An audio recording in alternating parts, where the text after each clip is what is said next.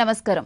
Career guidance live phone in కార్యక్రమానికి స్వాగతం. ఈనాటి కార్యక్రమంలో సమర్థవంతమైన రెజ్యూని ఎలా తయారు చేయాలి మరియు గ్రూప్ డిస్కషన్స్లో ఎలా రాణించాలి అనే అంశం గురించి వివరించడానికి ఈ రోజు మన స్టూడియోకి విచ్చేశారు సిహెచ్ ఉమ గారు spoken English trainer soft skill trainer life skills coach. CH Uma గారు గత మూడు సంవత్సరాలుగా అనేక మంది విద్యార్థులు మరియు నిపుణుల జీవితాలను ప్రభావితం చేస్తున్నారు. ఆమె టీచర్గా లెక్చరర్గా ప్లేస్మెంట్ ట్రైనర్గా మరియు ప్రిన్సిపల్గా పనిచేశారు.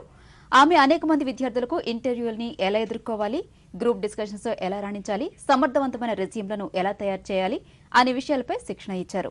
మరి ఉమ్మగారితో మాట్లాడి మీ సందేహాలను నివృత్తం చేసుకోవడానికి ప్రేక్షకులు సంప్రదించాల్సిన మా ఫోన్ నెంబర్లు. Zero eight double six two four eight seven double zero five మరియు zero eight double six two four eight seven double zero six. ఉమ్మగారు నమస్తే నమస్తే. మ్యామ్ ఈరోజు మనము రెజ్యూమ్ని ఎలా తయారు చేయాలి అలాగే గ్రూప్ డిస్కషన్స్లో ఎలా రాణించాలి అనే అంశం గురించి మనం మాట్లాడుకోబోతున్నాం.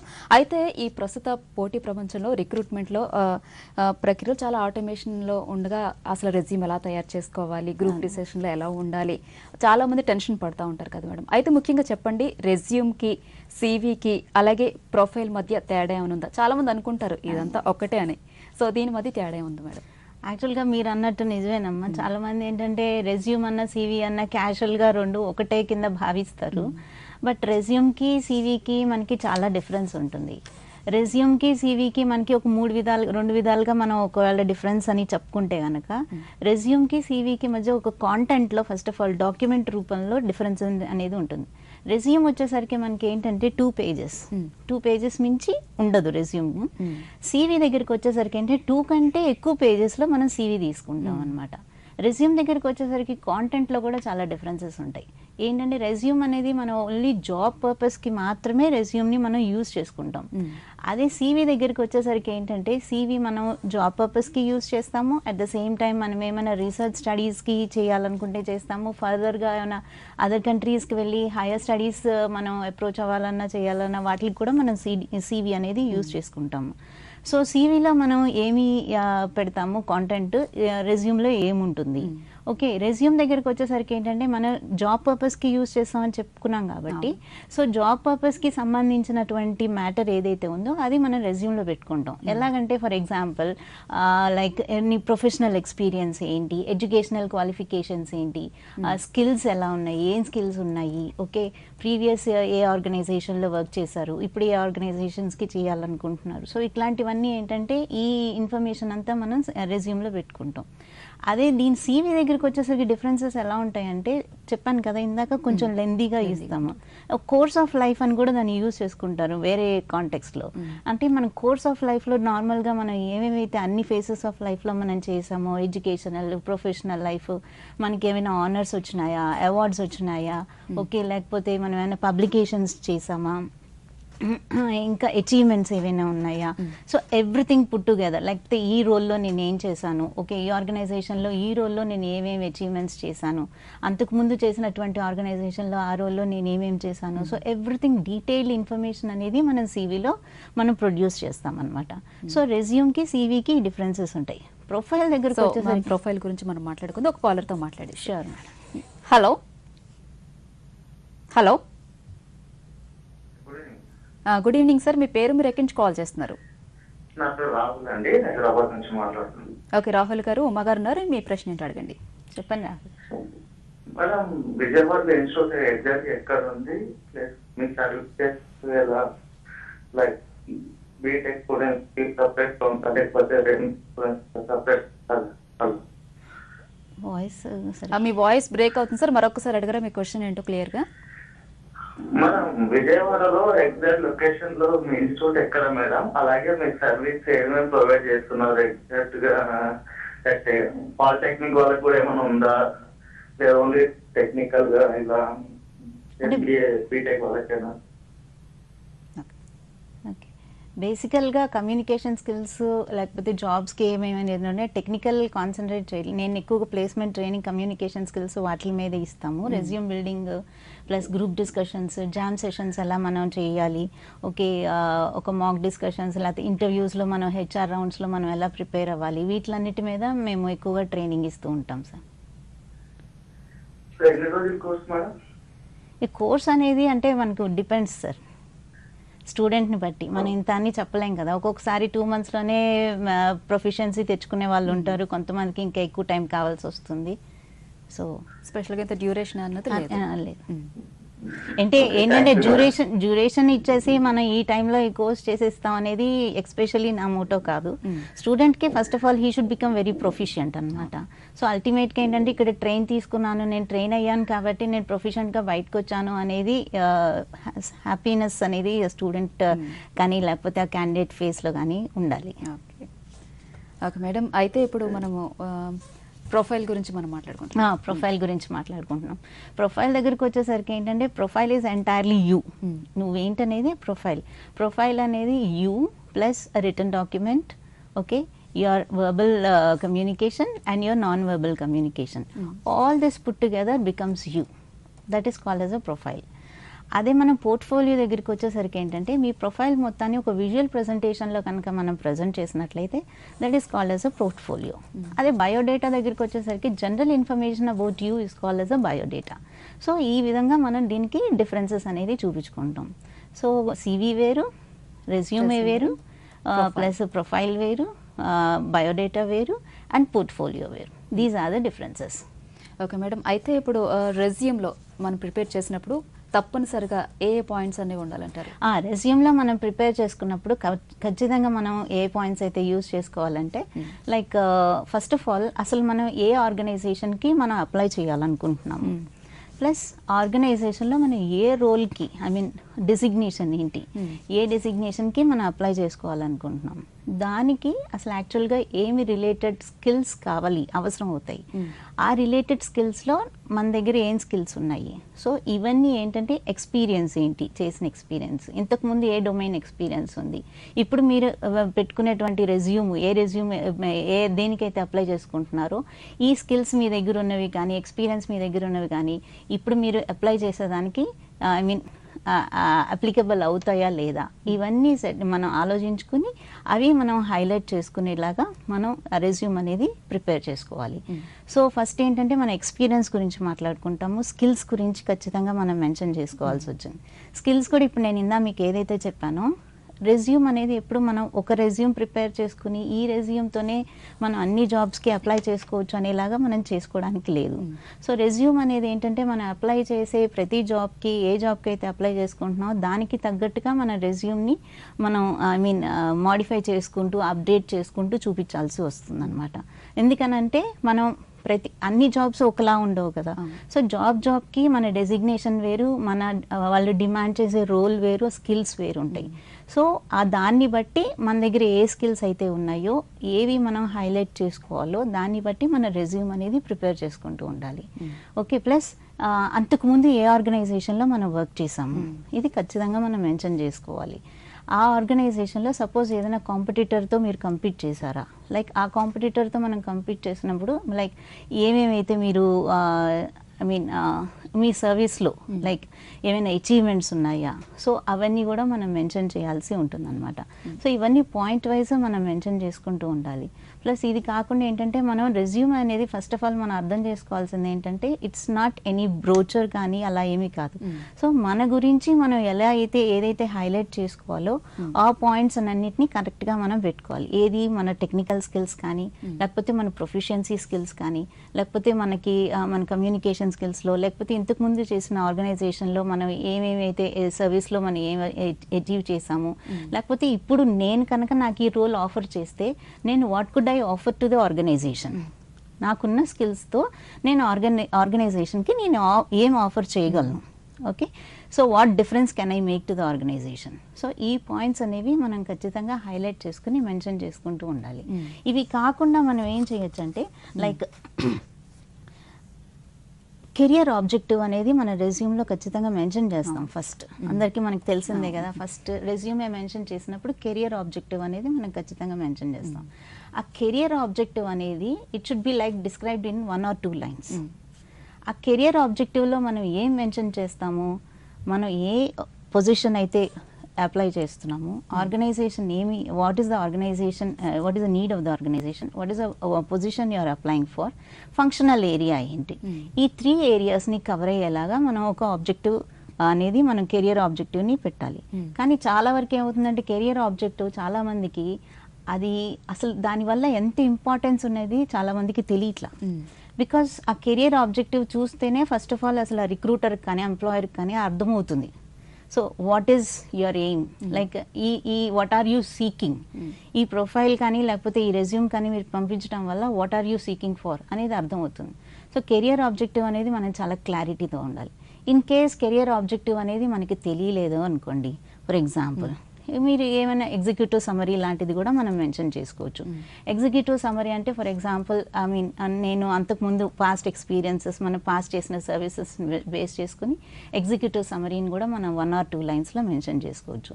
So either it can be an objective career objective or else you can start of the resume with executive summary ఈ రెండింటితో మెన్షన్ చేసిన తర్వాత మనఫికేషన్స్ ఉంటాము అయ్యో అన్ని ఇవ్వడం అనేది ఎక్స్పీరియన్స్ మెన్షన్ చేసుకుంటూ బ్యాక్ వెళ్తూ ఉండాలన్నమాట. మనం సో ఇవన్నీ మనం మెన్షన్ చేసుకోవాలి. నెక్స్ట్ వచ్చేసరికి ఏంటంటే ఇప్పుడు కరెంట్ ఏ జాబ్లో నువ్వు చేస్తున్నావు? ఈ కరెంట్ ఏ జాబ్లో వర్క్ చేస్తున్నావు? అంతకుముందు ఎన్ని చేసావు ఎక్కడ చేసావు అనేది మనకు అంత అవసరం లేదు. ఎందుకంటే చెప్ప ఫస్ట్లోనే చెప్పుకున్నాం కదా రెజ్యూమ్ అనేది it's like it's not like CV రెజ్యూమ్కి సీవీకి చాలా డిఫరెన్స్ ఉంది. సో రెజ్యూమ్లో ఏంటంటే ఇంతకుముందు ప్రీవియస్లో కరెంట్ ఎక్కడ చేసావు? సో ఇప్పుడు ఎక్కడ చేయాలనుకుంటున్నావు? అండ్ అంతకుముందు చేసినప్పుడు ఆ రోల్లో ఏం చేశారు? ఆ రోల్లో మీరు చేసినట్టుగా what is that you have offered through what is the service that you have done ఇప్పుడు ఈ రోల్కి నువ్వు అప్లై చేస్తున్నప్పుడు what are the things that you are going to offer from this role so ఈ ఈ పాయింట్స్ అనేది మనం mention చేసుకోవాలి. ప్లస్ ఇంకొకటి ఏంటంటే ఇప్పుడు కరెంట్గా మనం ఎక్కడైతే వర్క్ చేస్తున్నామో దాన్ని అక్కడ చేసినప్పుడు సర్వీస్ మనం ఏమైతే ఆఫర్ చేసామో ఏం సర్వీసెస్ చేసాము అనేది మెన్షన్ చేయాలని చెప్పుకున్నాం కదా.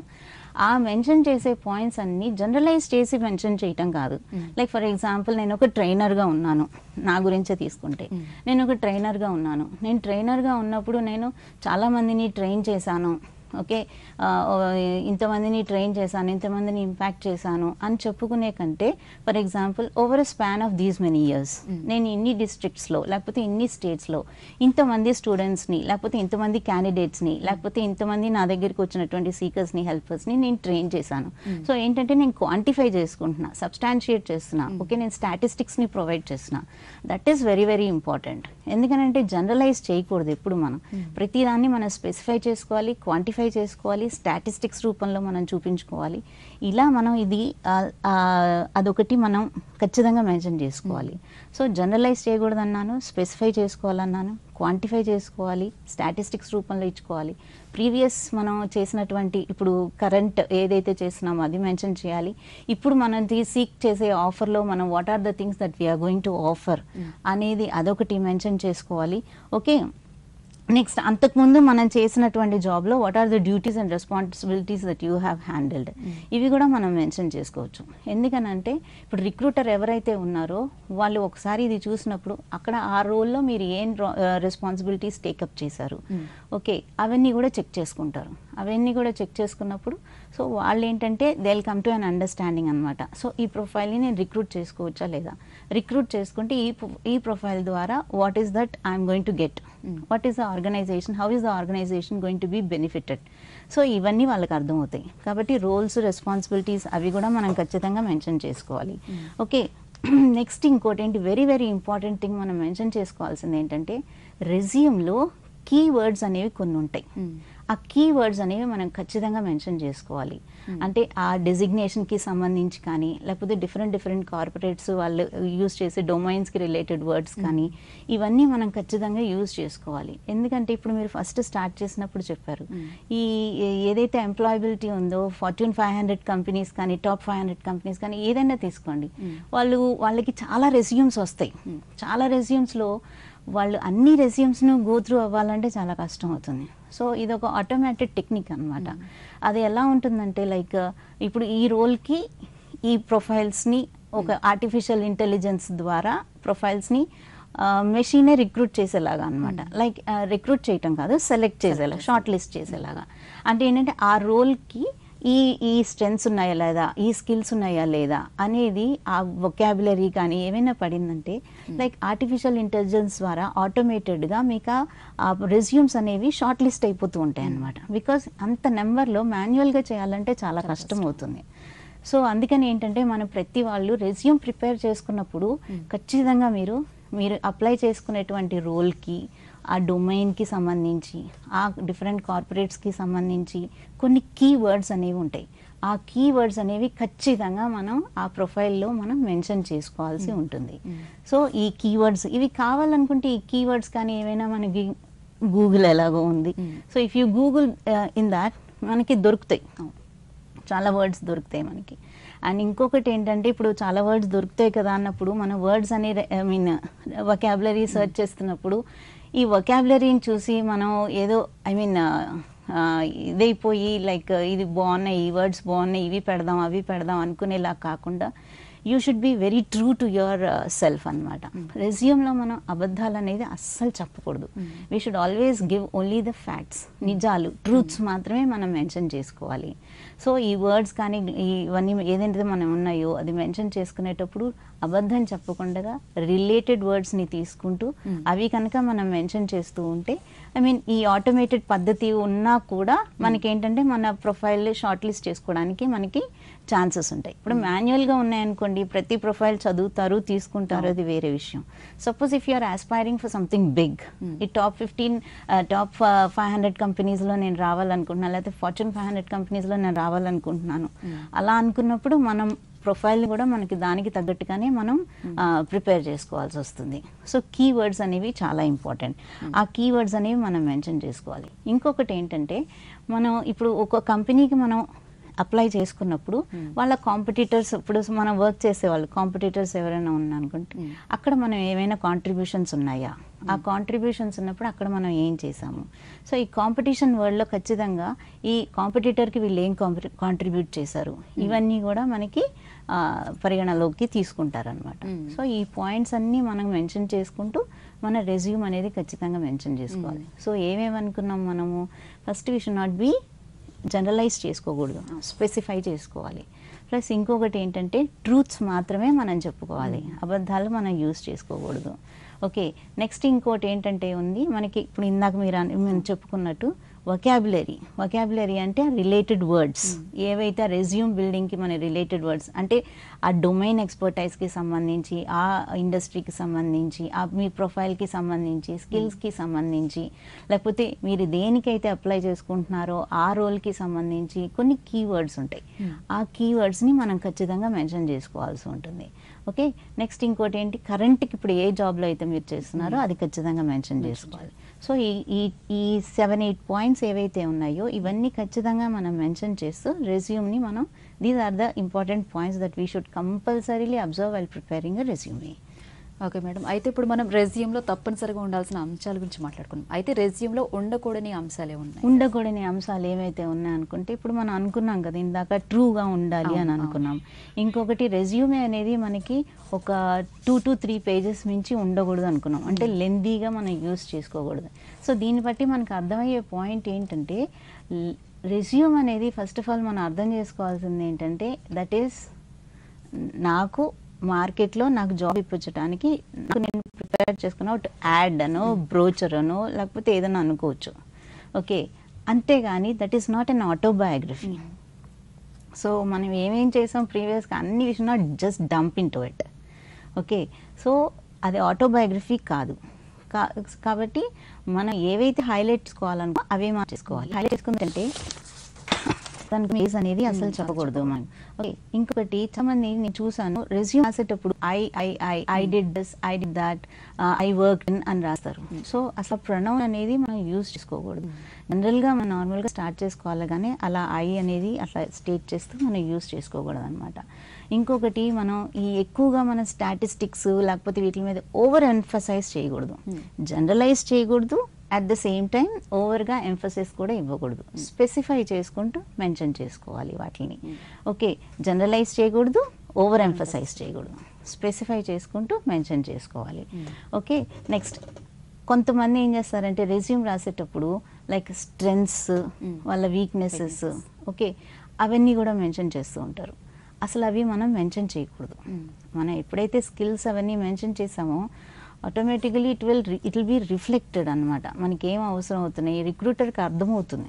సో అగైన్ స్ట్రెంగ్స్ లేకపోతే హ్యాబిట్స్ హాబీస్ ఓకే ఇవన్నీ కూడా మెన్షన్ చేస్తూ ఉంటారు.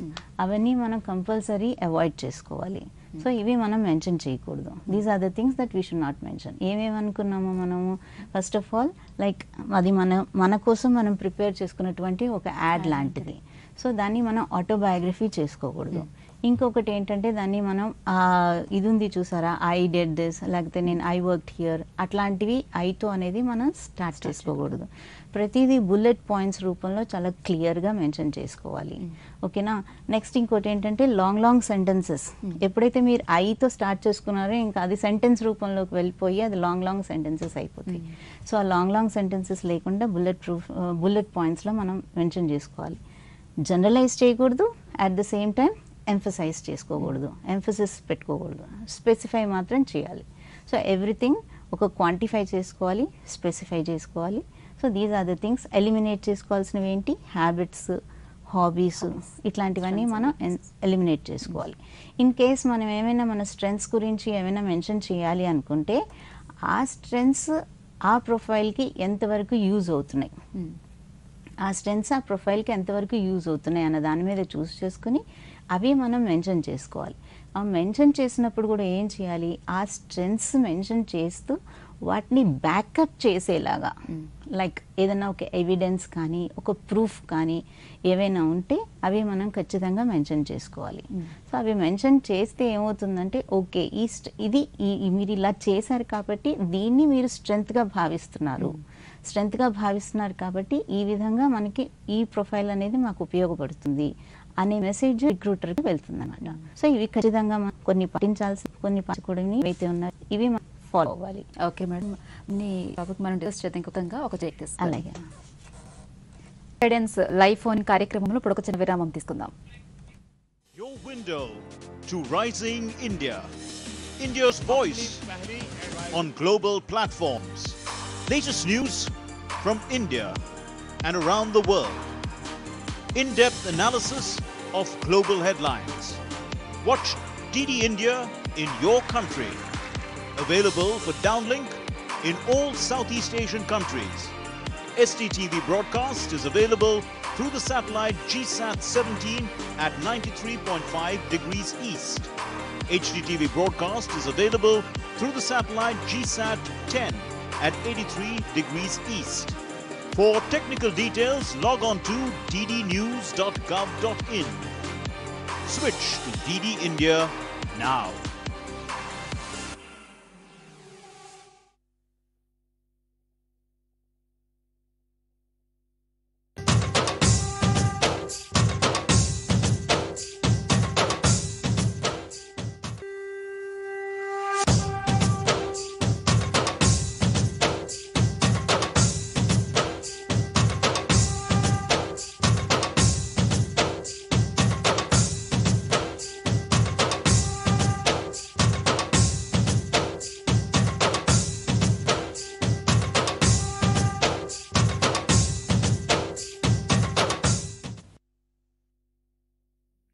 Guidance life phone in కార్యక్రమానికి తిరిగి స్వాగతం.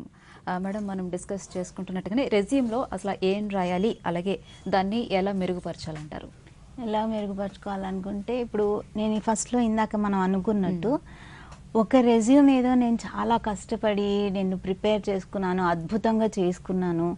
సో ఈ ప్రొఫైల్కి అసలు ఈ రెజ్యూమ్కి తిరుగులేదు అని మనం అనుకుని అదే ప్రొ ఆ రెజ్యూమ్ని మనం ప్రతిసారి దాన్ని మనం యూజ్ చేసుకోవడానికి ఖచ్చితంగా అయితే స్ట్రిక్ట్ నో ఎందుకనంటే జాబ్ జాబ్కి రోల్ రోల్కి మనకి the the things which are demanded from us from the recruiter అనేది చేంజ్ అవుతూ ఉంటాయి.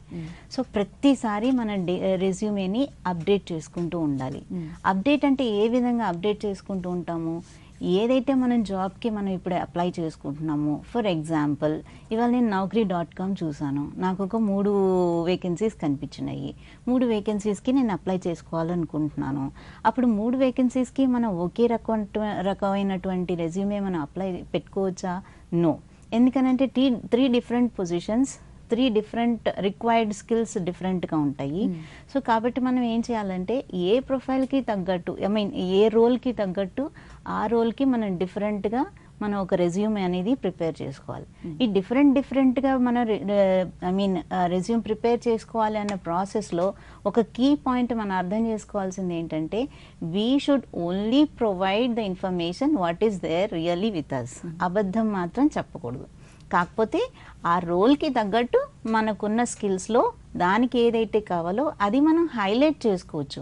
అంతే తప్పించి మన అబద్ధం మాత్రం అస్సలు చెప్పకూడదు. అబద్ధం చెప్తే ఏమవుతుందంటే అది ఇంటిగ్రిటీ ఇష్యూస్లోకి వెళ్ళిపోతుంది. తర్వాత మనం ఎప్పుడైతే మనకి ఫర్దర్గా హెచ్ఆర్ వాళ్ళతో మనం I mean interview personal interview కానీ ఏదైనా చేస్తున్నప్పుడు రెజ్యూమ్ని బేస్ చేసి కొన్ని క్వశ్చన్స్ వస్తాయి. ఆ క్వశ్చన్స్ దగ్గరికి వచ్చినప్పుడు ఏమవుతుందంటే మనం అనవసరంగా తెలియని ఒక ఇన్కన్వీనియన్స్ పొజిషన్లోకి మనం వెళ్ళిపోతాం. సో అలాంటి సిచ్యువేషన్స్ ఏమీ రాకుండా ఉండడం కోసం మనం ఎప్పుడైతే అప్లై చేసుకుంటున్నామో ఏ రోల్కి తగ్గట్టు ఆ రోల్కి మనం రెజ్యూమ్ని ప్రిపేర్ చేసి పెట్టుకోవాలి. So this is first point ఇంకొకటి ఏంటంటే ఇందాక నేను మీకు చెప్పినట్టు మోడిఫై చేసుకోవాలన్నాను కదా. ఫర్ ఎగ్జాంపుల్ నేనున్నాను అనుకోండి ఫర్ ఎగ్జాంపుల్ చెప్తున్నాను.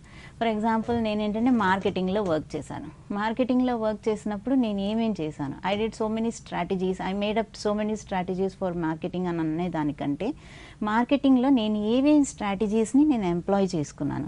లైక్ ఫర్ ఎగ్జాంపుల్ నేను ఈ- ఇయర్లో నేను ఇన్ని బ్లాగ్స్ రాశాను. ఓకే లేకపోతే నేను ఇన్స్టాగ్రామ్లో ఇన్ని పోస్ట్ పెట్టాను మార్కెటింగ్ సంబంధించి. లేకపోతే లింక్డ్ఇన్లో నేను ఈ ఈ డిఫరెంట్ డిఫరెంట్ యాక్టివిటీస్ చేశాను. ఓకే. లేకపోతే దీన్ని ఇదే ఇదేంటంటే మనం ఇలాగా ప్రతిదీ దాన్ని స్పెసిఫై చేసుకుంటూ మనం మెన్షన్ చేసుకుంటూ ఉండాలి. ఇంకొకటి ఏంటంటే ఫర్ ఎగ్జాంపుల్ ఒక అకౌంట్స్ కానీ ఫైనాన్స్ రిలేటెడ్ పొజిషన్ కానీ మనం పెట్టామనుకోండి. దానికి రిలేటెడ్ మన ఆర్గనైజేషనల్ బడ్జెట్ అనేది ఉంటుంది కదా ప్రతి ఇయర్కి. ఆ బడ్జెట్కి నువ్వేమైనా నీ వైపు నుంచి కాంట్రిబ్యూషన్ ఏమైనా ఉందా? కాంట్రిబ్యూషన్ ఉంటే ఫర్ ఎగ్జాంపుల్ ఏమైనా సేవ్ చేసావా ఆర్గనైజేషన్కి?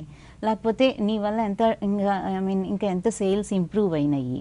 సో ఇవన్నీ ఏంటంటే చెయ్యాలంటే ఒక రెజ్యూమ్ చేసి ప్రిపేర్ చేసుకుంటే అవ్వదు. మన ప్రతి రెజ్యూమ్లో మనం ఇట్లాంటివన్నీ అప్డేట్ చేసుకుంటూ ఉండాలి. సో ఈ ఈ ఇంప్రూవ్మెంట్ అనేది ఖచ్చితంగా ప్రతి రెజ్యూమ్కి జరుగుతూ ఉండాలి. ఇది కాకుండా ఏంటంటే సపోజ్ సేల్స్లో ఉన్నాము. సేల్స్లో ఉన్నప్పుడు నేను నేను మార్కెట్ని సేల్స్ మార్కెట్ని ఎక్స్పాండ్ చేశాను నా ప్రోడక్ట్కి అనే దానికంటే ఏం చెప్పొచ్చు? లైక్ ఫర్ ఎగ్జాంపుల్ నేను అట్లీస్ట్ ఒక లీడ్ లిస్ట్ అనేది మనకు ఉంటుంది కదా మార్కెటింగ్ చేసినప్పుడు. ఈ లీడ్ లిస్ట్ని నేను టూ హండ్రెడ్ నుంచి ఫైవ్ హండ్రెడ్కి పెంచాను. ఓకే ఇట్లాంటివన్నీ మెన్షన్ చేసుకుంటూ మనం మన రెజ్యూమేని అప్డేట్ చేసుకుంటూ ఏ ప్రొఫైల్కి రిలేటెడ్గా ఉంటే ఆ ప్రొఫైల్కి మాత్రం మన పాయింట్స్ని స్కిల్స్ని హైలైట్ చేసుకుంటూ చెప్పాలి. Hmm. అయితే మేడం చెప్పండి ఎంప్లాయీస్ రెజ్యూమ్ని ఎలా ఫిల్టర్ చేసి అలాగే ప్రొఫైల్ ఎంచుకుంటారంటారు? ప్రతిదీ ఇప్పుడు ఏంటంటే అంత ఆర్టిఫిషియల్ ఇంటెలిజెన్స్ మీద బేస్ అయ్యి ఉంది. మొత్తం. ఇప్పుడు మనం చూస్తున్న గ్రూప్ ఎగ్జామ్స్ కానీ చాలా చాలా ఏవైనా సరే అన్నీ ఆటోమేటెడ్గా జరుగుతున్నాయి. మనం అనుకుంటాం అంతమంది కూర్చొని ఏమైనా మనకి చేస్తారా? చెయ్యరు కదా మాన్యువల్గా ఏది జరగట్లేదు ఇప్పుడు. అంత ఆర్టిఫిషియల్ ఇంటెలిజెన్స్ యూస్ చేసుకుని ఆటోమేటెడ్గా దానికి ఒక స్ట్రక్చర్ అనేది పెట్టుకుని చేసేస్తున్నారు. ఇప్పుడు మన రెజ్యూమ్స్ని కూడా మనం అలాగే చేస్తారు టాప్ కంపెనీస్లో ఎందుకనంటే వాళ్ళకి చాలా రెజ్యూమ్స్ వస్తాయి. అన్ని రెజ్యూమ్స్లో ఫిల్టర్ చేసుకోవడానికి అంత మ్యాన్ పవర్ కూడా సరిపోకపోవచ్చు. At the same time time కూడా వాళ్ళకి పర్మిట్ చేయకపోవచ్చు. సో ఇలాంటప్పుడు ఏంటంటే వాళ్ళకి ఆటోమేటెడ్ సిస్టమ్స్ ఇందా మనం చెప్పుకున్నప్పుడు ఆ రోల్కి వాళ్ళకి ఈ స్కిల్స్ కావాలి. ఓకే ఈ స్కిల్స్ కావాలంటే ఈ రెజ్యూమ్లో ఆ స్కిల్స్ మెన్షన్ అయి ఉందా లేదా? సో అది ఆటోమేటెడ్ పద్ధతిలో ఏమవుతుందంటే రెజ్యూమ్స్ అలా షార్ట్ లిస్ట్ అయిపోతూ ఉంటాయి షార్ట్ లిస్ట్ అయిపోతూ ఉన్నప్పుడు ఏమవుతుందంటే షార్ట్ లిస్ట్ అయినవి వాళ్ళు స్క్రూట్నీ చేసుకుని సెలెక్ట్ చేసుకోవడం అనేది రిక్రూటర్స్కి ఈజీ ప్రాసెస్ అవుతుంది అనమాట సో ఆటోమేటెడ్ పద్ధతిలో అది చేసుకుంటూ ఉంటారు. దానికి తగ్గట్టుగా మనం ప్రొఫైల్ని ప్రిపేర్ చేసుకుంటూ ఉండాలి. ఓకే వొకాబులరీ మ్యాచ్ అవుతూ ఉండాలి. కీవర్డ్స్ని యూజ్ చేస్తూ ఉండాలి. కెరియర్ ఆబ్జెక్టివ్ అనేది చాలా ఇంపార్టెంట్ కెరియర్ ఆబ్జెక్టివ్ యూజ్ చేస్తున్నామా? లేకపోతే ఎగ్జిక్యూటివ్ సమరీ యూజ్ చేస్తామా? కెరియర్ ఆబ్జెక్టివ్ కూడా చాలామంది ఏం చేస్తారంటే కొంత కొంతమంది అసలు వాళ్ళ కెరియర్ ఆబ్జెక్టివ్ ఏంటి అనేది కూడా వాళ్ళకి తెలియని పొజిషన్లో చాలామంది ఉన్నారు. వాళ్ళు ఏం చేస్తారంటే ఫర్ ఎగ్జాంపుల్ కొంత గూగుల్లో సెర్చ్ చేసేసి ఏదో ఒక కెరియర్ ఆబ్జెక్టివ్ తీసేసుకుని దాన్ని అక్కడ మెన్షన్ చేసేస్తారు. సో ఫ్రమ్ మై ఎక్స్పీరియన్స్ నేను చూసాను కొంతమంది అలా మెన్షన్ చేసినప్పుడు. రిక్రూటర్స్ ఫైనల్గా వచ్చి ఇంటర్వ్యూ అంతా అయిపోయిన తర్వాత ఒక ఒక ఐ మీన్ ఒక క్యాండిడేట్ని వాళ్ళు ఫైనల్గా అడిగారు. What is your career objective అని అడిగారు. అడిగేసరికి దట్ పర్సన్ ఆ candidate she just put a blank face అనమాట ఎందుకనంటే మరి కెరియర్ ఆబ్జెక్టివ్ రెజ్యూమేలో రాశారు మెన్షన్ చేశారు. బట్ ఏదైతే కెరియర్ ఆబ్జెక్టివ్ వాళ్ళు మెన్షన్ చేయమని చెప్పమని అడిగారో అక్కడ వాళ్ళకి తెలియలేదు. So that is clearly understood that career objective ఏంటనేది ఆ క్లారిటీ ఆ క్యాండిడేట్కే లేదు. అదేంటంటే జస్ట్ ఏదో ఇప్పుడు మన గూగుల్ వచ్చేసింది ప్రతిదానికి ఏంటంటే మన సేవియర్ లాగా ఉంది అన్నిటికీ గూగుల్ తీసేసుకుంటున్నాము దానిలోంచి ఏదో కెరియర్ ఆబ్జెక్టివ్ సెంటెన్స్ బాగుంది కదా అని అక్కడ మెన్షన్ చేసేసారు. బట్ దట్ ఈస్ రాంగ్ అది మనం చేయకూడదు.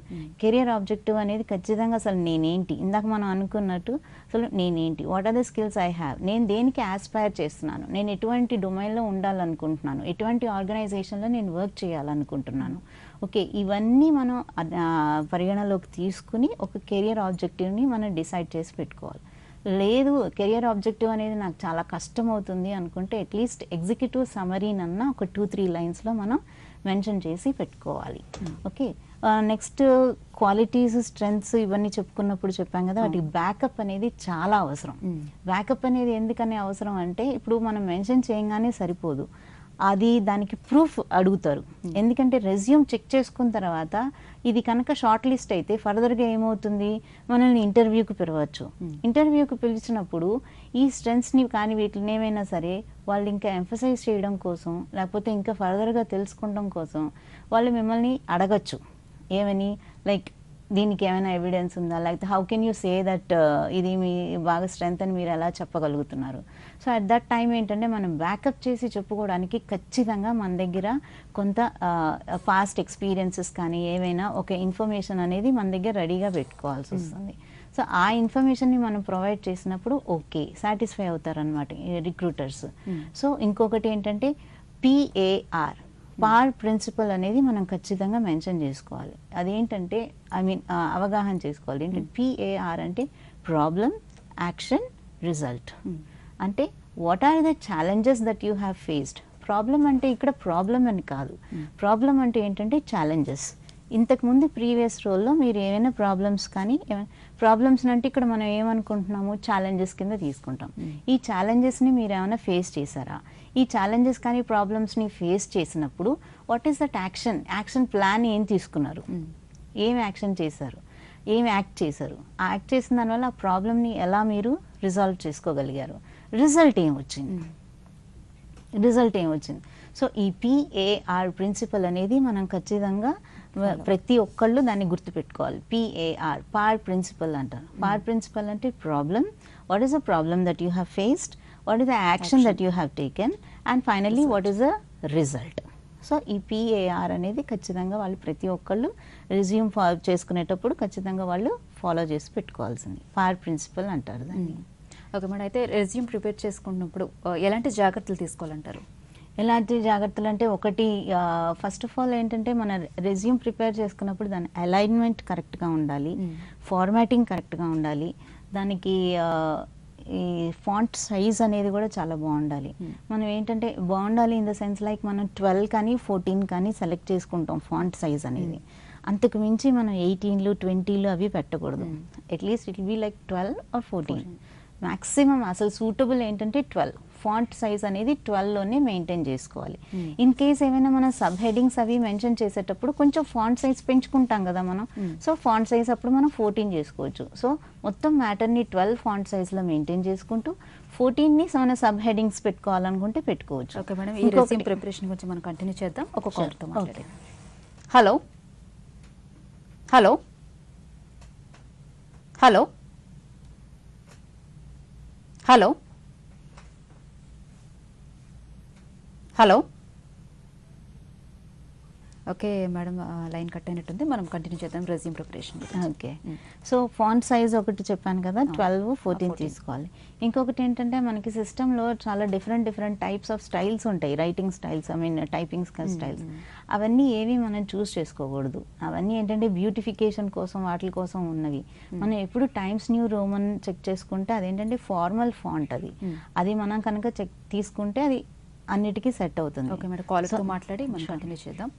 Hello hello hello hello. Okay madam మనకి కాల్ కట్ అయింది మళ్ళీ. ఓకే. సో ఫాంట్ ఒకటి ప్లస్ స్టైల్ ఒకటి రెండు కరెక్ట్గా ఉండాలి. ఫార్మాటింగ్ అన్ని కరెక్ట్గా ఉండాలి. ఎందుకంటే రెజ్యూమ్ మనం పంపించామంటే రెజ్యూమ్ ఇట్స్ యువర్ రిఫ్లెక్షన్ అనమాట సో మీరు లేకుండా మిమ్మల్ని రిప్రజెంట్ చేస్తుంది అక్కడ. Okay madam. కాలర్ లైన్లోకి వచ్చారు మాట్లాడదాం. హలో. నమస్తే సార్ మీ పేరు మీరు ఎక్కించి కాల్ చేస్తున్నారు? నా పేరు వచ్చేసి బాలన్. నేను పుత్తూరు సార్ మీ వాయిస్ బ్రేక్ అవుతుంది. క్లియర్గా చెప్పండి సార్. మీ పేరు చెప్పండి అండ్ మీ క్వశ్చన్ ఏంటి అడగండి. నా పేరు పాలు. నుంచి మాట్లాడుతున్నాను ఓకే అడగండి సార్ మీ క్వశ్చన్ ఏంటో. నా క్వశ్చన్ ఏంటంటే నేను చదువుకున్నాను పీజీ వరకు చదువుకున్నాను.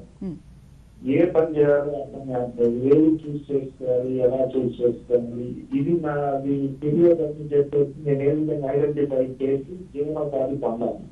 ఎక్కడెక్కడ పని చే- అన్ని కూడా ప్రైవేట్ జాబ్ చేస్తూ మానేస్తూ అటు ఇటు చాలా పనులు చేస్తుంటున్నాను. ఒక పని అనేది నిఖరం లేదు. సో ఏ విధంగా నేను నా జీవితాన్ని నిఖరంగా చేసుకోవాలి అనేది నా క్వశ్చన్ అండి ఇది. సరే వాళ్ళ పేరు ఏంటన్నారు బాలు గారు. సో కెరీర్ ఎలా బిల్డప్ చేసుకోవాలి అని అడుగుతున్నారు. ఓకే. బాలు గారు? మీకు వయసు ఎంత అండి నా వయసు వచ్చేసి నలభై సంవత్సరాలు అండి చాలా పనులు చేశాను ప్రైవేట్? పనులు టీచింగ్ చేశాను హోటల్లో పనులు చేశాను రకరకాలు చేశాను. తిరుపతి ఆటల్లో చేశాను ఇది చదువుతున్నాను ఎల్ఎల్బీలో చేశాను అసలు ఏది చెప్పడం అనేది నాకు అర్థం కాదు దేంట్లో టాలెంట్ ఉందండి? సినిమా ఫీల్డ్లో కూడా వెళ్దామని కూడా అనుకుంటున్నాను రైతుగా మీరు ఫస్ట్ ఆఫ్ ఆల్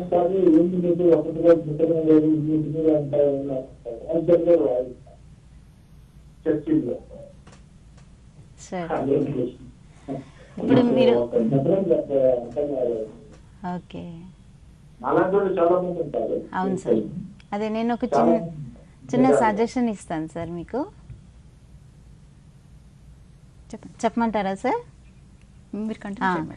సార్ మీరు ఇప్పుడు ఫార్టీ ఇయర్స్ అన్నారు కదా ఫార్టీ ఇయర్స్ వచ్చిన తర్వాత ఇప్పుడు మీరు ఏ కెరియర్లో నేను వెళ్ళాలి అనేది ఇంకా కన్ఫ్యూజన్లో ఉందనేది మీరు పాయింట్ రేజ్ చేశారు.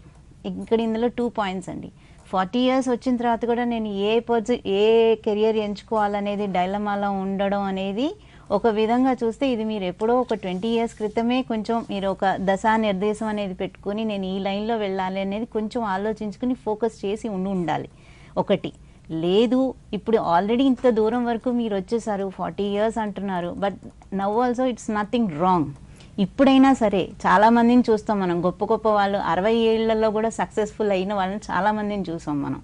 సో ఇప్పుడైనా మించిపోయింది ఏం లేదు. నెవర్ లేట్ అని అంటారు కదా. సో అట్లీస్ట్ ఇప్పుడైనా సరే మీరు ఏంటంటే ఫస్ట్ ఆఫ్ ఆల్ మీ మీరు ఎందులో మీరు ప్రొఫిషియన్సీ ఐ మీన్ ఉంది మీ స్కిల్ ఏంటి ఎందులో మీరు ప్రొఫిషియంట్ మీరు జాబే చేయాల్సిన అవసరం లేదు. సక్సెస్ఫుల్ అవ్వాలనుకుంటే జాబ్ చేయాలా లేకపోతే బిజినెస్ చేయాలా అనేది ఫస్ట్ ఆఫ్ ఆల్ మీరు డిసైడ్ అవ్వండి. నాకు తెలిసి ఇప్పుడు మీరు ఫార్టీ ఇయర్స్ కాబట్టి జాబ్కి అనేది కొంచెం మీకు కష్టమే. సో ఇప్పుడు మీరు ఏం చేయొచ్చు అంటే మీరు వేరే ఏమైనా చేసుకుని స్వయం ఉపాధిగా ఏమైనా చేసుకుని మీరు పైకి రావచ్చా? దీనికి సంబంధించి ఇప్పుడు మీరు డిఫరెంట్ డిఫరెంట్ రోల్స్ చాలా జాబ్స్ చేశానని అంటున్నారు. అంటే డెఫినెట్గా మీరు అన్ని రోల్స్లోంచి కొంత ఎక్స్పీరియన్స్ ఏదైతే ఉందో అది గెయిన్ చేసే ఉంటారు. సో ఆ గెయిన్ చేసిన ఎక్స్పీరియన్స్ని బేస్ చేసుకుని దాంతోపాటు ఇప్పుడు మీరు ఫర్దర్గా నేను ఏం చేస్తే బెటర్ అవుతుంది అనేది డిసప్పాయింట్మెంట్స్కి ఓకే వాటికి లోన్ అవ్వకుండా ఇప్పుడైనా సరే మీరు స్టార్ట్ చేసుకోవచ్చు సార్ ఇప్పుడు అట్లీస్ట్ మీరు ఏదైనా ఒక చిన్న ఇదిగాన everything starts with one single step అంటారు. ఇప్పుడైనా సరే సింగ్ ఏదన్నా ఒకటి చిన్నగా మీరు స్టార్ట్ చేసుకుని ఇప్పుడు మీరు ఏదైతే ఎక్స్పీరియన్స్ గే గెయిన్ చేశారో అది డెఫినెట్గా మీకు ఉపయోగపడుతుంది. ఆ ఎక్స్పీరియన్స్ని గెయిన్ చేసుకుని మీరు ఏదైనా ఒక చిన్నగా స్టార్ట్ చేసి చేసుకోవచ్చు. ఫార్టీ ఇయర్స్లో ఇప్పుడు మీరు ఏదైనా జాబ్ చేయాలి అంటే నాకు తెలిసినంత వరకు కొంచెం కష్టమే అని నేను అనుకుంటున్నాను సార్ కొంచెం కష్టమే ఫార్టీ ఇయర్స్ అంటే. ఎందుకనంటే ఇప్పుడు బయట మనకు వెళ్తే ఫార్టీ ఇయర్స్కి కార్పొరేట్స్లో చూస్తే ఫార్టీ ఇయర్స్ అనేసరికి అక్కడ క్లోజ్ అయిపోతుంది సార్. ట్వంటీ ఇయర్స్ నుంచి రిక్రూట్ చేసుకుని ఫార్టీ ఇయర్స్ తర్వాత ఎవరైనా ఉంటే ఉన్న వాళ్ళు పై పొజిషన్స్కి వెళ్తున్నారేమో కానీ కొత్త రిక్రూట్మెంట్స్ ఫార్టీ ఇయర్స్ తర్వాత జరగట్లేదు సార్. Okay madam. అయితే ఇప్పుడు మనం ఎడ్యుకేషన్ కంప్లీట్ అయ్యాక రెజ్యూమ్ ప్రిపేర్ చేసుకోవడం అలాగే జాబ్ కోసం చూసుకోవడం ఇదంతా ఒకటి. మన రెజ్యూమ్ ప్రిపేర్ ఎలా చేసుకోవాలి ఇవంతా మనం మాట్లాడుకున్నాం.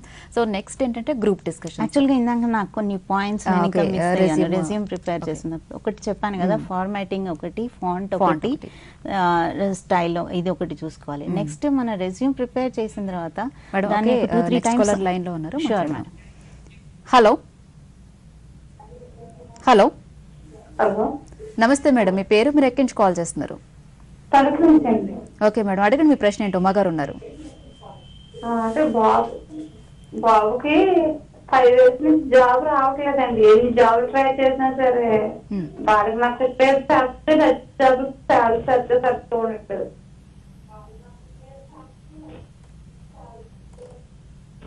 మేడం టీవీ వాళ్ళని పూర్తిగా మ్యూట్లో పెట్టి అడగండి మీ క్వశ్చన్ అడగండి. అది బాబు గురించి డిప్లొమా ఆటోమొబైల్ ఇచ్చాయండి ఉమ్. ఫైవ్ ఇయర్స్ నుంచి ఖాళీగానే ఉంటున్నాడు. జాబ్ కానీ వీడు నచ్చట్లేదు. పెట్టి వస్తే కదా స్టార్ట్ సరిగ్గా ఉండట్లేదండి. ప్రస్తుతానికి ఖాళీగానే ఉంటున్నాడు. ఓకే. అది ఏం. ఓకే ఆటోమేటిక్ ఆటోమొబైల్స్లో డిప్లొమా చేశారు. మీరు ఒక పాయింట్ మెన్షన్ చేశారమ్మా. ఫైవ్ ఇయర్స్ నుంచి ఖాళీగా ఉంటున్నాడు. బాబు జాబ్ వచ్చింది కానీ జాబ్ రావట్లేదు. వచ్చిన జాబ్ దీనికి నచ్చట్లేదు అన్న పాయింట్. శాలరీ కూడా నచ్చట్లేదు అన్న పాయింట్ మీరు చెప్పారు. సో అక్కడ నేను కొంచెం సజెషన్ ఇవ్వాలనుకుంటున్నాను మీకు. ఏ జాబ్ అయినా అమ్మా మనం ఇష్టపడి చేయటమే కానీ మనకి ఇష్టమైన జాబ్ దొరకడం దొరకాలి అనుకుంటాం అనేది కొంచెం కష్టమే. మనకి ఏదైనా సరే జాబ్ అనేది ఇష్టపడి చేసుకుంటాం. ఇష్టపడి కొంచెం ట్రై చేసి మొదలు పెట్టిన తర్వాత స్లోగా మనకి ఇష్టం అవుతుంది. ప్లస్ ఇంకొకటి ఇష్టమైన శాలరీ కూడా మనం ఎక్స్పెక్ట్ చేసినంత శాలరీ మనకి రాదు. ఎక్కడా రాదు.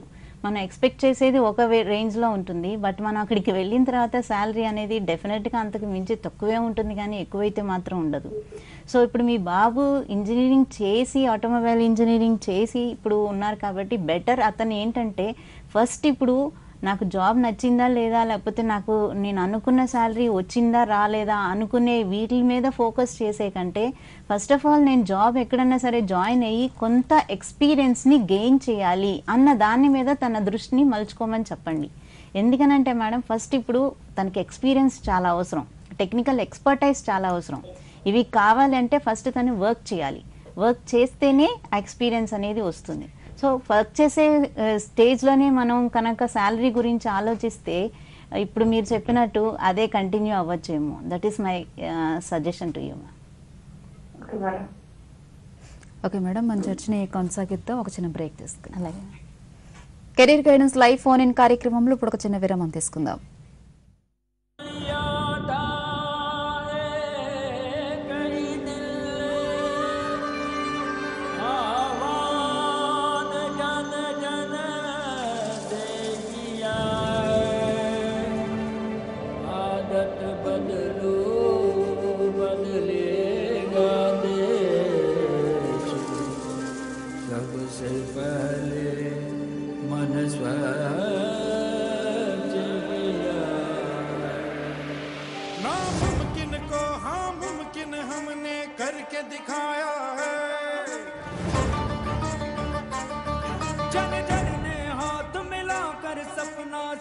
বানায়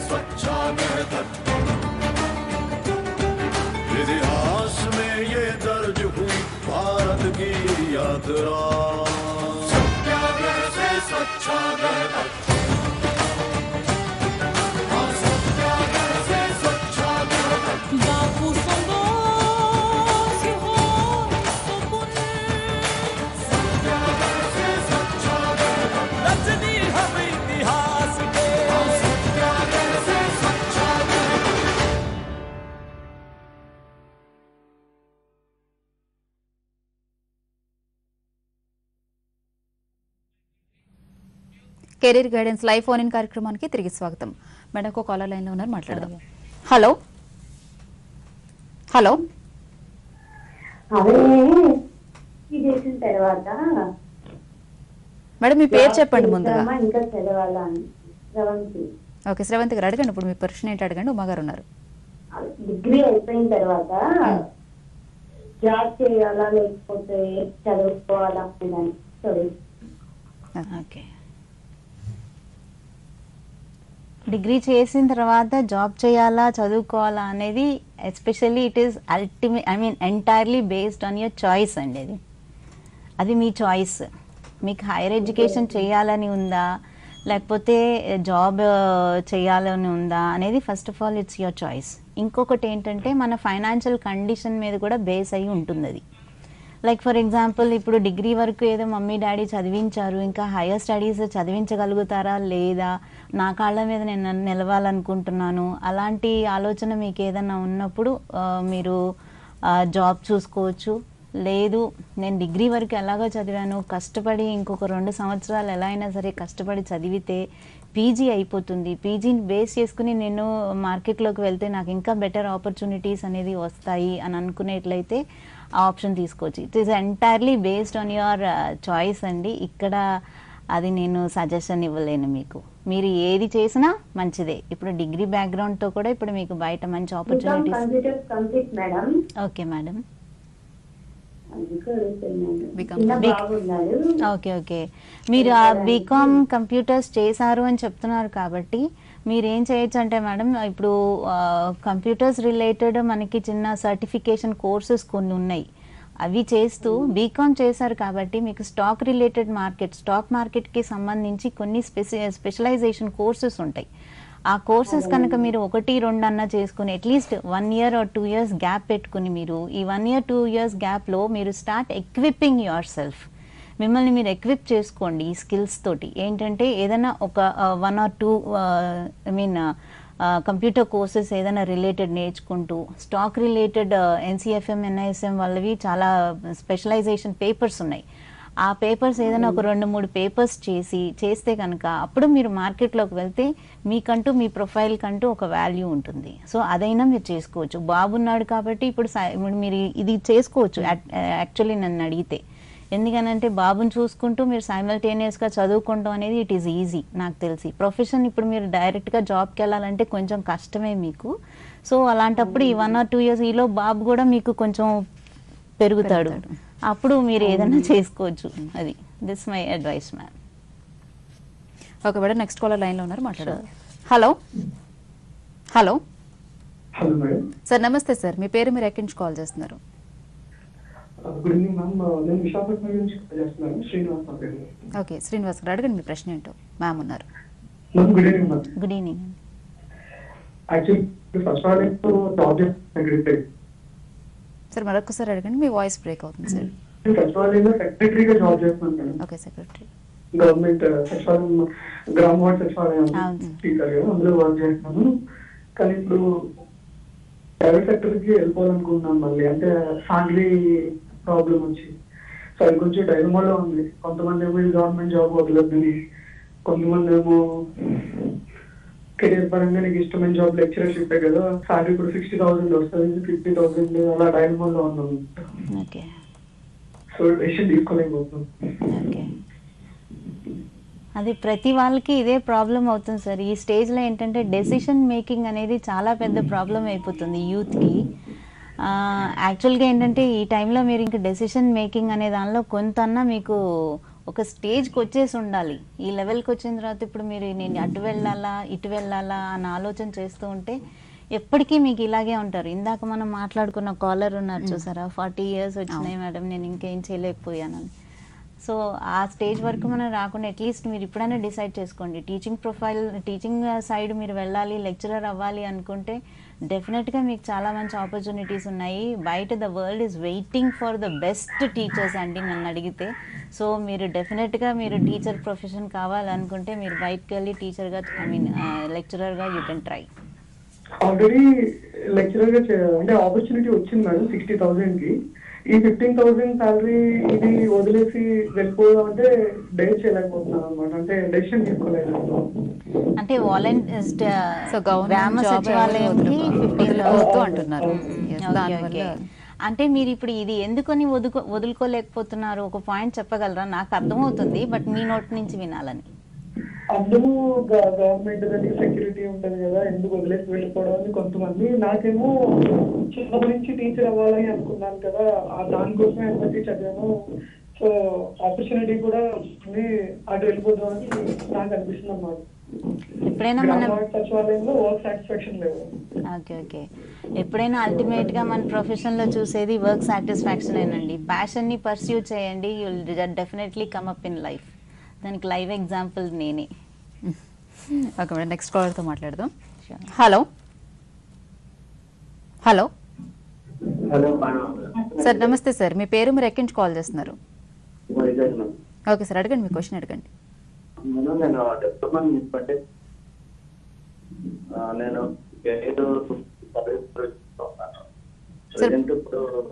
సార్ మీ క్వశ్చన్ రిపీట్ చేయరా? అంటే వాయిస్ బ్రేక్ అవుతుంది. మేడం నేను ఇన్స్ట్రుమెంటేషన్ చేశాను. డిప్లొమా. ప్రజెంట్ సర్వీస్ నుంచి మెయింటెనెన్స్కి వచ్చాను. నా డౌట్ ఏంటంటే నేను సాఫ్ట్వేర్ ప్రొఫెషన్కి వెళ్ళాలనుకుంటున్నాను. ప్రజెంట్ ఉన్న కమిట్మెంట్స్కి నేను బీటెక్ చేయలేదు చేయలేదు ఓకే ఇప్పుడు వెళ్ళొచ్చా లేదా డౌట్ ఇప్పుడు కష్టం కదండి. అంటే మీరు కంప్లీట్ ఎడ్యుకేషన్ చేసింది మీరు ఏమన్నారు మెషిన్. ఎడ్యుకేషన్ ఏం చెప్పారు ఆయన? Diploma in instrumentation. Diploma in instrumentation చేశారు. మీరు సాఫ్ట్వేర్ సైడ్ వెళ్ళాలనుకుంటున్నారు. ఓకే దానికి ఏమైనా ఆపర్చునిటీస్ ఉన్నాయేమో ఒకసారి చెక్ చెక్ చేసి చూసుకోండి సార్. బ్రౌజ్ చేస్తే ఏమైనా ఉంటే ఐడియా వస్తుంది. ఓకే మేడం మనం రెజ్యూమ్ ఎలా ప్రిపేర్ చేయాలని దాని గురించి మనం. మనం ఇందాక ఆగిపోయాం కదా రెండు పాయింట్స్ దగ్గర ఏంటంటే ఫాంట్ ఒకటి. స్టైల్ ఒకటి ఫార్మాటింగ్ ఒకటి అనుకున్నాము ఇంకొకటి మనం రెజ్యూమ్ ప్రిపేర్ చేసుకున్న తర్వాత ఆ రెజ్యూమ్ని ఏదైతే రెజ్యూమ్ ప్రిపేర్ చేసామో ఆ రెజ్యూమ్తో we should completely get connected with it. ఎందుకనంటే మేడం ఇందా నేను మీకు చెప్పాను కదా లైక్ ఫర్ ఎగ్జాంపుల్ రేపు ఆ రెజ్యూమ్ షార్ట్ లిస్ట్ అవుతుంది Mm. మనల్ని ఇంటర్వ్యూకి పిలుస్తారు ఇంటర్వ్యూకి పిలిచినప్పుడు అసలు ఇన్నిసార్లు మనం ఇన్ని చోట్ల మనం అప్లై చేసేటప్పుడు ఏ రెజ్యూమ్లో ఏం పెట్టాము అనేది కూడా కన్ఫ్యూజన్ ఉండొచ్చు. సో ప్రతి రెజ్యూమ్లీ you have to get connected with it ఎందుకనంటే అక్కడికి వెళ్ళిన తర్వాత వాళ్ళు ఏం క్వశ్చన్స్ వేస్తారు ఆ నేను రెజ్యూమ్లో ఏమేం పాయింట్స్ మెన్షన్ చేశాను అవి ఖచ్చితంగా మనం గుర్తుపెట్టుకోవాలి. సో దానికి మనం ఏంటంటే అట్లీస్ట్ ప్రతి రెజ్యూమ్ని మనం ఏమైతే ప్రిపేర్ చేసుకున్నామో ప్రతి రెజ్యూమ్ని మనం ఒక త్రీ ఫోర్ టైమ్స్ మనం దాన్ని అవగాహన చేసుకుని మన మైండ్లో పెట్టుకుని ఉంచుకోవాలి. ప్లస్ ఎవరైనా ఎక్స్పర్టైజ్ ఎక్స్పర్ట్ ఉంటే కనుక వాళ్ళకి మన రెజ్యూమ్ ఇచ్చి ఒకసారి ప్రూఫ్ రీడింగ్ చేయించుకోవడంలో తప్పేం లేదు. Mm. ఒకసారి ప్రూఫ్ రీడింగ్ చేయించుకోవాలి వాళ్ళ చేత. సో ప్రూఫ్ రీడింగ్ చేయించుకోవడం ఒకటి ఫాంట్ సైజు ఫార్మాటింగ్ అంతా కరెక్ట్గా పెట్టుకోవడం. నెక్స్ట్ దాంతో మనం ఎక్కువగా ఆ- ఆ రెజ్యూమ్ని మనం ఒక టూ త్రీ టైమ్స్ బాగా తెలుసుకుని ఉండడం రెజ్యూమ్లో ఏం మెన్షన్ చేసాం అనేది. ఇది చాలా ఇంపార్టెంట్. ఇవి ఖచ్చితంగా మనం గుర్తుపెట్టుకుని ఉండాలి. ఓకే మేడం ఒక కాలర్తో మాట్లాడదాం. హలో. హలో. హలో. నమస్తే మేడం మీ పేరు మీరు ఎక్కడి నుంచి కాల్ చేస్తున్నారు? ఆ, నమస్తే నా పేరు శిల్ప. నేను రాజమండ్రి నుంచి కాల్ చేస్తున్నాను. ఓకే శిల్ప గారు అడగండి మీ క్వశ్చన్ ఏంటో ఉమా గారు ఉన్నారు యాక్చువల్గా నేను ఇప్పుడు జాబ్లో ఉన్నది సేల్స్ ఎగ్జిక్యూటివ్ అని నేను. నేను బిఏ ఫినాన్స్ హెచ్ఆర్ కంప్లీట్ చేశాను. అయితే హెచ్ఆర్లోకి వెళ్ళాలా? లేకపోతే ఇట్లాగే నాకు first chance first sales so నేను సేల్స్లోనే కెరీర్ స్టార్ట్ చేశాను ఇందులో కంటిన్యూ అవుతే బాగుంటుందా? గ్రోత్ లేదా హెచ్ఆర్ చేశాను కాబట్టి ఎంసీఏ అందులో గ్రోత్ బాగుంటుందా? ఎలా మేడం? ఓకే. ఎందులో గ్రోత్ ఉంటుంది. మీ ఏజ్ ఎంతండి? థర్టీ అండి. థర్టీ. ఓకే. సో మేడం ఇప్పుడు మీరు సేల్స్లో ఉన్నారన్నారు కదా? అవునండి. అంటే ఫీమేల్ కాబట్టి థర్టీ ఇయర్స్ వచ్చినట్టు మీరు హెచ్ఆర్ వైపు వెళ్ళడం అనేది కరెక్ట్ ఏమో అని నా నేను అనుకుంటున్నాను మేడం. ఎందుకంటే సేల్స్ వచ్చేసరికి దానిలో చాలా టార్గెట్స్ ఎక్కువ ఉంటాయి. You have to I mean as a female కొన్ని అంటే మనం I don't say that female is lesser than male అని నేను అంటలేదు బట్ కొన్ని కొన్ని కన్స్ట్రైంట్స్ అనేవి ఖచ్చితంగా వస్తాయి మనకి. ఫ్యామిలీ పెరుగుతున్నప్పుడు కానీ ఏమైనా. సో అలాంటి Okay. సిచ్యువేషన్లో మనం హెచ్ఆర్ చూసుకుంటా అని మీకు బెటర్ చాయిస్ ఏమో నా అభిప్రాయం. ఓకే థ్యాంక్ యూ అండి ఓకే మేడం అయితే మనం రెజ్యూమ్ గురించి మనం మాట్లాడుతున్నాం రెజ్యూమ్. గురించి మాట్లాడుకుంటున్నాం కదా సో దీనికి ఏంటి ప్రూఫ్ అనేది ఖచ్చితంగా చెక్ చేసుకోవాలి Mm. ఇంకొకటి ఏంటంటే కొంత కొంతమంది మెయిల్ ఐడీస్ మనకు mail ID phone number contact అనేది ఖచ్చితంగా. ఇచ్చుకోవాలి ఈ మెయిల్ ఐడీస్ అనేది ఏం చేస్తారంటే కొంత కొంతమంది చాలా ఫ్యాన్సీ మెయిల్ ఐడీస్ పెట్టుకుంటారు. Sweety tweety at the rate Gmail dot com I love you Raji at the rate Gmail dot com ఇలాంటివి పెట్టుకుంటారు. అసలు అలాంటివి మనం పెట్టుకోకూడదు. మనం ఏంటంటే చాలా ప్రొఫెషనల్గా ఉండాలి. మన మెయిల్ ఐడి ఏదైతే ఇస్తామో అది చాలా ప్రొఫెషనల్గా ఉండాలి. సో ప్రొఫెషనల్ మెయిల్ ఐడి అనేది క్రియేట్ చేసుకుని ఆ మెయిల్ ఐడి ఇచ్చింది ఏదైతే ఉందో అది it's once once and for all అనమాట దాన్ని మనం మాటి మాటికి చేంజ్ చేసుకోకూడదు. చేంజ్ చేసుకుంటూ ఉంటే ఏమవుతుందంటే మనకి కాంటాక్ట్ ఎవరైతే చేయాలనుకుంటారో వాళ్ళు మనకి కాంటాక్ట్ చేయడం కష్టం అవుతుంది సో కాంటాక్ట్ నెంబర్ ఒకటి ఒక ప్రొఫెషనల్ మెయిల్ ఐడి ఒకటి అవి మనం క్రియేట్ చేసుకుని పర్మనెంట్గా పెట్టుకోవాలి. సో మెయిల్ ఐడీస్ ఒకటి పెట్టుకున్నాం. ఇంకొకటి ఏంటంటే వేరే వాళ్ళ రెజ్యూమ్స్ మనం కాపీ చేసుకోకూడదు. కొంతమంది ఏం చేస్తారంటే వాళ్ళ రెజ్యూమ్ బాగుంది కదా అని తీసేసుకుని నేమ్ వరకు తీసేసి డేట్ ఆఫ్ బర్త్ ఆ డీటెయిల్స్ తీసేసి మార్చేసి పెట్టేసుకుంటారు.